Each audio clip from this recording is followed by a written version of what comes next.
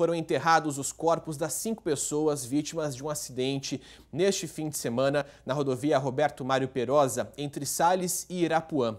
Os enterros estão marcados aí para as cidades de Tabapuã, Bebedouro. A Gabriela está com pressa, é só um pouquinho mais devagar, que acabei perdendo uma das cidades aqui que nós vamos ter velório, viu? Segundo aí a polícia rodoviária, um dos carros envolvidos teria tentado ultrapassar um caminhão e acabou batendo de frente com um veículo que vinha no sentido contrário. O motorista do caminhão ainda perdeu o controle da direção e bateu contra várias árvores no acostamento. A gente está observando imagens que foram enviadas aí por telespectadores aí para o nosso WhatsApp, WhatsApp WhatsApp do nosso SBT Interior.